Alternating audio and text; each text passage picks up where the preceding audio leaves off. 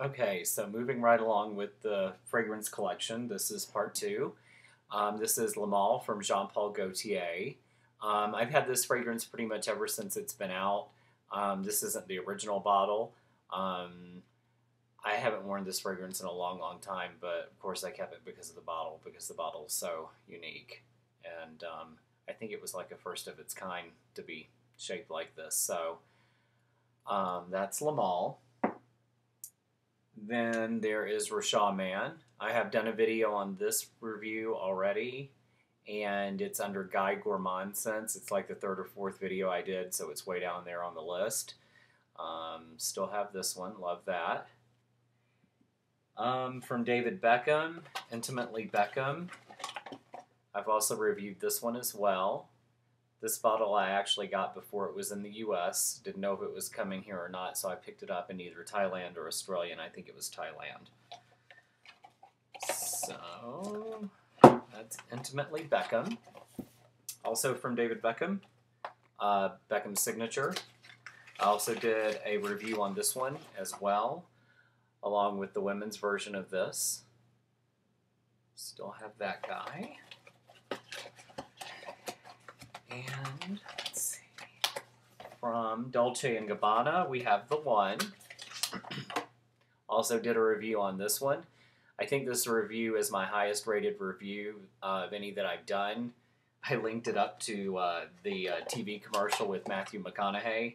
It's Found one of them on YouTube and linked my video up with it, and that's how I got all the extra exposure on that one was by doing that. Um, from Miller Harris, the Tabaksat. Also done a review on this one as well.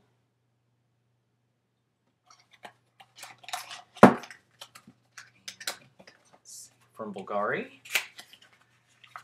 Just one of the Bulgaris that I have. This is Blue Note. This is a tester because it doesn't have the right cap on it. So that's Blue Note. Um, from Joop, this is Rococo. This is another one of his fragrances that never made it to the U.S. for whatever reason. Haven't worn this one in a long, long time. I think this one has teak wood, if I remember correctly, in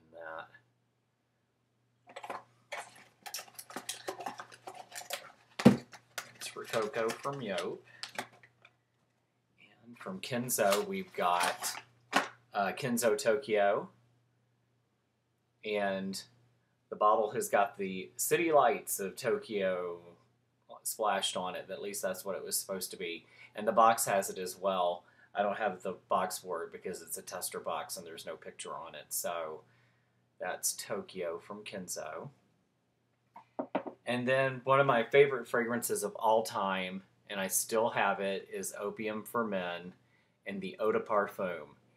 Uh, this was discontinued and this bottle is 12 or 14 years old. I checked it a couple of weeks ago and it still smells the way I remember it. Still smells right, smells good. However, with it being as old as it is, I know I don't have much time left with it. And um, it's vanilla bourbon in the base on this one.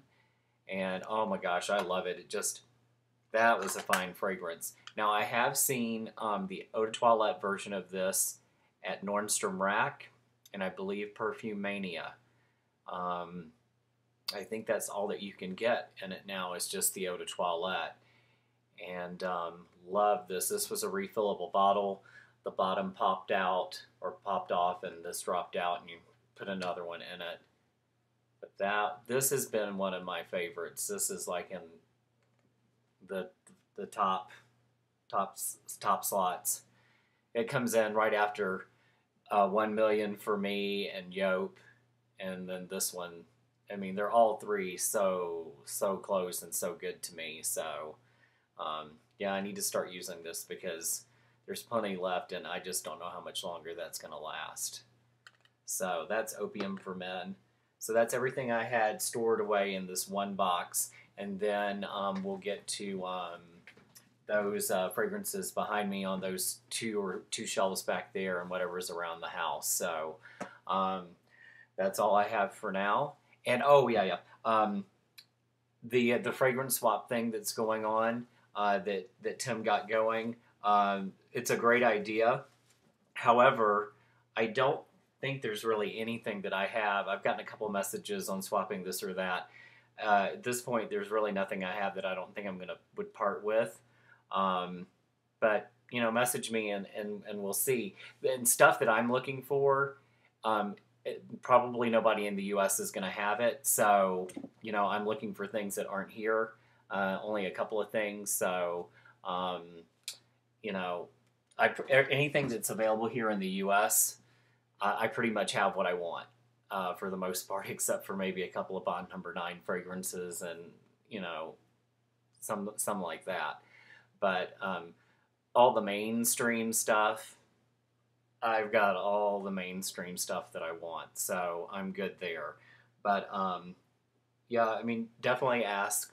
But most likely, I probably, especially what you've been seeing in the collection videos, I'm probably not going to part with any of it.